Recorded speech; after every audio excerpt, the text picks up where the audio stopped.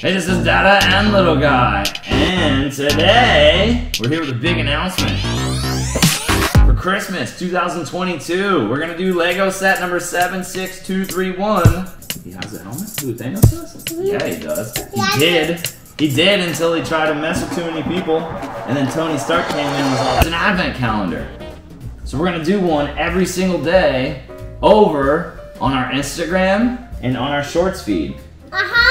Yeah, so if you want to check this advent calendar out, swing on over to Explorenit with an underscore at Instagram or subscribe to the channel and you can stay up to date with all of our shorts. We'll release one every day, 24 days leading up to Christmas. Are you ready for Christmas 2022? Uh-huh. Yeah, let's do this thing.